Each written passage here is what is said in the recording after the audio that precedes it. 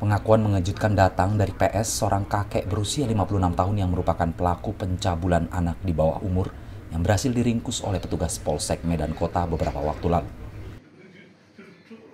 Sang kakek bejat tersebut mengaku sudah melakukan aksi cabulnya hingga puluhan kali terhadap sembilan anak di bawah umur. Di hadapan petugas, PS mengaku sudah 64 kali melakukannya mulai dari tahun 2017 hingga tahun 2019. Aksi bejat itu dilakukan oleh tersangka dengan cara merayu para korbannya dan diiming-imingi akan diberikan sesuatu. Untuk memuluskan aksinya, tersangka juga tega mengancam para korban agar tidak memberitahu kepada orang lain. Kanit Reskrim Ibtu Deni Indrawan Lubis memastikan tersangka tidak mengalami kelainan seks.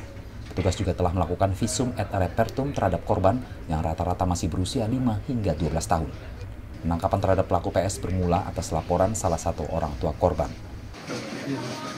Nah, jadi untuk modus awalnya dia kan punya anak kecil.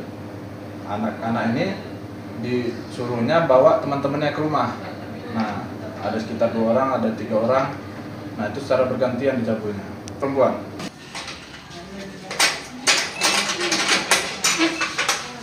Dari Sumatera Utara, Tim Liputan Tribrata TV, salam Tribrata.